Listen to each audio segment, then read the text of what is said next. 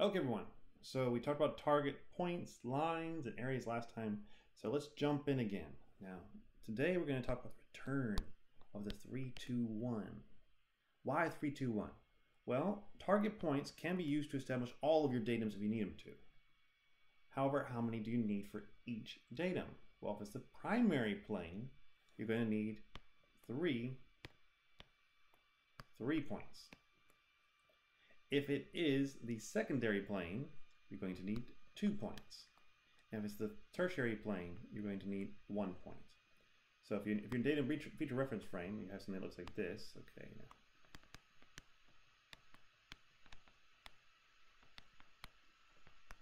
Well, then you would need three for this, two for this one, and one for this one to actually establish it. Why is that? Each point gets rid of a degree of freedom. Your first plane gets rid of three degrees of freedom, so you need three points. Second gets rid of two degrees of freedom, you need two points. And third gets rid of one degree of freedom. Okay? You will need dimensions to tell where these little targets are. You can't just put them on there and say, it's there. X marks the spot, boom, good enough for me. No, you actually have to show them where it is with dimensions. Dimensions at basic, mind you. Okay, and once you've done that, you label it with the datum target symbol. Now, how does this actually look? Well, if you're trying to simulate these datums, um, as a note, these three little points you see right here, those are pegs with a dome top. You see them from the side right here. So all these are just little pegs that have a domed top. And that is how you simulate um, a target point. At least it's one way you can do it.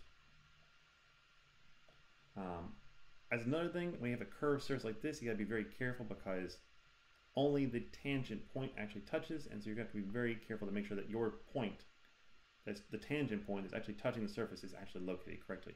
Otherwise, you know, if you're supposed to touch here, and I have my nice rounded surface, well, it actually touches here. So you got to make sure that you're very, very careful with that. Even if it looks like it's perfectly aligned, it's not going to be touching there because of that tangent point. Okay, target lines. We can also use lines to establish datum. Now, how much does a line actually constrain? Well, interestingly enough, it really depends. If your line is your third datum, then that line is going to have to is only going to constrain one degree of freedom. However, think about how many points does it take to draw a line? It takes two. It takes two to draw a line. And so it can, if used correctly, constrain two degrees of freedom. Okay?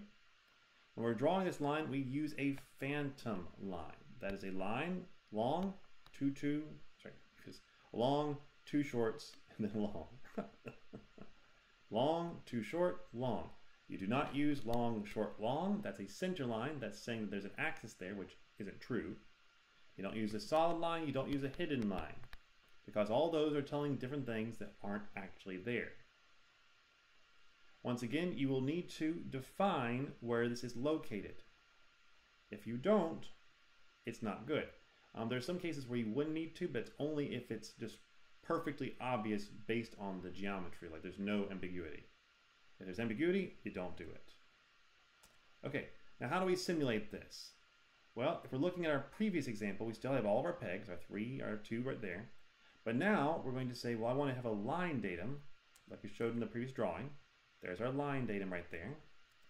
And a line is usually created with a cylinder. It's just a simple cylinder. You're not having to make some like perfect wedge that touches it at only one point. A cylinder will do that too because only the tangent line will actually touch the surface. Now, there's only full contact if it's a perfect simulation and a perfect part feature. So that doesn't happen all the time, but hopefully, hopefully, um, you're going to contact enough to constrain it in the way that it's supposed to. Okay, finally, target areas. You'll see them right here. These are not perfect circles with a solid line. They are actually having a phantom line that's then hashed in. So long, short, short, long, short, short, and then I hash it in. Okay? Now, areas can, by themselves, constrain three degrees of freedom. However, if I've got a very long workpiece and I say, okay, I want you to constrain it right there. That's my area. That's of course going to perfectly constrain it. It could, but you want to make sure this makes a lot of sense if you're holding it in place. And so you would probably want to establish a second one, and maybe even a third in the middle, just to make sure that it's not going to bend under the force it would require to hold it in place with just that area. So you have to think about stability. You have to be realistic. Like, how would you hold something? So sometimes you're going to have more simulators than you technically need. Okay? You have more than you need just because you're trying to be realistic about how things can work. Like someone could definitely balance it on just two, but three is going to make sure that's completely stable. Okay, so that's it for this time.